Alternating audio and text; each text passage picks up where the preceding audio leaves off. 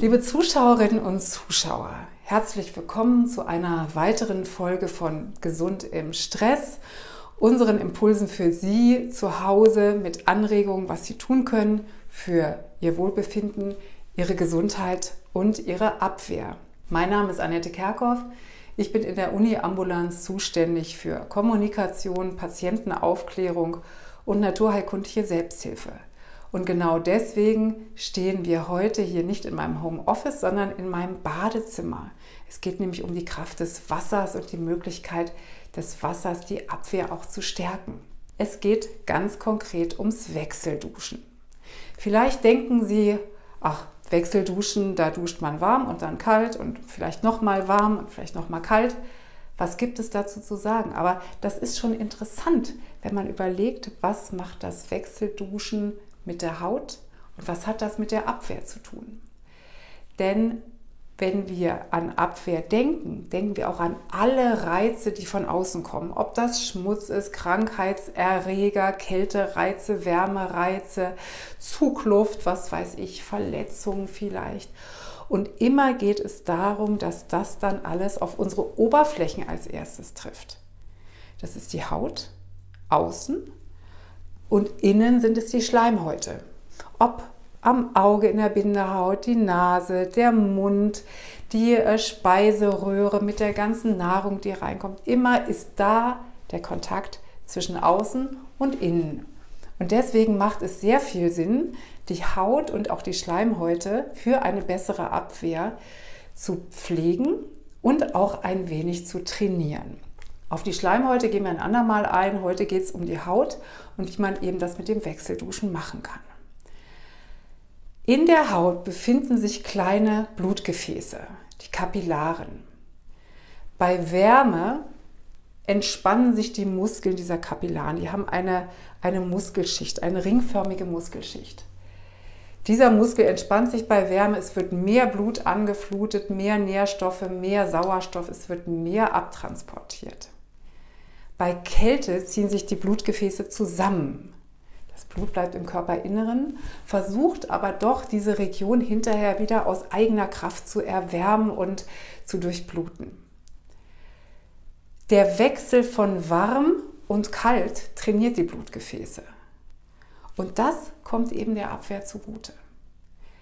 Beim Wechselduschen ist es so, wir wollen das Training der Haut, aber wir wollen es auch nicht übertreiben. Und das ist die wichtigste Regel für alle. Fangen Sie langsam an. Es geht nicht um ein, eine Mutprobe oder um einen Härtetest. Sie sollen auch nicht den ganzen Vormittag frieren, sondern fangen Sie vorsichtig an, schnell einmal kurz abgeduscht, eher vielleicht lauwarmes Wasser, allmählich kühles, allmählich kaltes Wasser, vielleicht erst nur eine Runde, später zwei. Also es geht darum, dass Sie hinterher sich frischer fühlen und dass äh, sie sich auch wieder erwärmen. Vielleicht helfen sie ein bisschen nach, bewegen sich, rubbeln oder vielleicht gehen sie auch noch mal kurz ins Bett nach dem morgendlichen Wechselduschen, aber sie sollen auf jeden Fall nicht frieren hinterher. So, wie geht das jetzt konkret? Ich gehe mal hier in meine Dusche rein und mache Ihnen das trocken vor. So, wie geht das jetzt konkret? Ich habe hier meinen Duschkopf in der Hand, den stellen Sie, wenn möglich, auf Strahl und dann gibt es eine Regel, nämlich dass das Herz nicht erschreckt wird. Deswegen müssen auch gerade Herz-Kreislauf-Patienten wirklich besonders aufpassen bei diesen ganzen Anwendungen und sprechen Sie am besten einmal zu viel als zu wenig mit Ihrem Arzt, wenn Sie Probleme mit dem Herz, dem Kreislauf, dem Blutdruck oder auch mit der Haut haben. So, wie geht's los? Sie fangen möglichst weit vom Herzen an, um den Kältereiz so langsam dahin zu führen.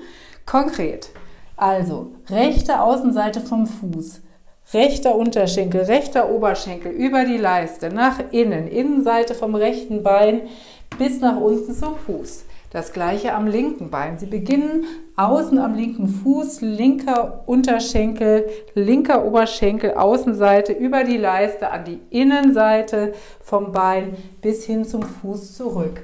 Dann der Arm von den Fingerspitzen über den Handrücken vom rechten Arm hoch bis zur Schulter an der Innenseite vom rechten Arm zurück bis zur Handinnenfläche. linke Arm von den Fingerspitzen, Handrücken, außen am Unterarm, Oberarm, Schulter wieder zurück bis zur Hand.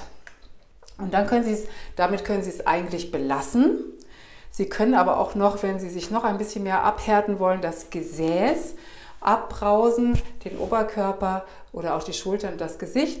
Seien Sie etwas vorsichtig hier in der Region, da sind die Nieren, die haben Kälte nicht ganz so gerne.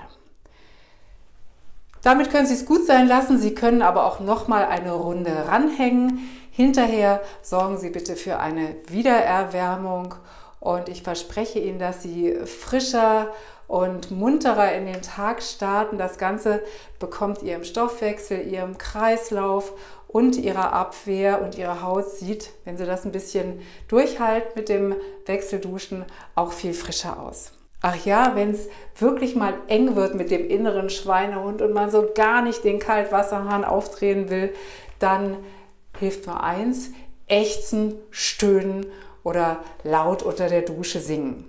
In diesem Sinne probieren Sie es mal aus. Bis zum nächsten Mal, Ihre Annette Kerkhoff.